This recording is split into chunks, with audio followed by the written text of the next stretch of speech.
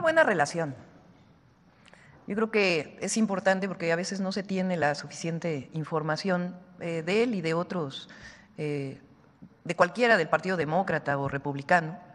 del esfuerzo que ha hecho México para disminuir la migración o la presencia de migrantes en la frontera, a través de un mecanismo muy importante de, eh, de distintas áreas del gobierno que se siguen reuniendo y que ha permitido desde dar empleo en México hasta el retorno humanitario, el rescate humanitario. Eh, de diciembre del 2023 a octubre, al cierre de octubre, hay una disminución del 75% de migrantes que llegan a la frontera norte.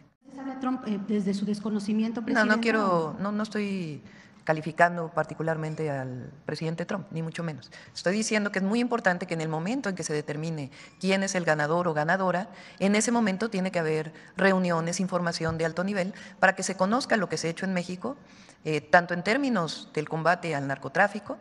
eh, de evitar que llegue fentanilo a los Estados Unidos eh, y también en términos de la migración. Entonces no califico ni a uno ni a otro, ni a uno ni a otra candidata, a los candidatos a la presidencia de Estados Unidos, sino que estoy convencida que va a haber buena relación y que tiene que haber este proceso de información de inicio y de colaboración y coordinación.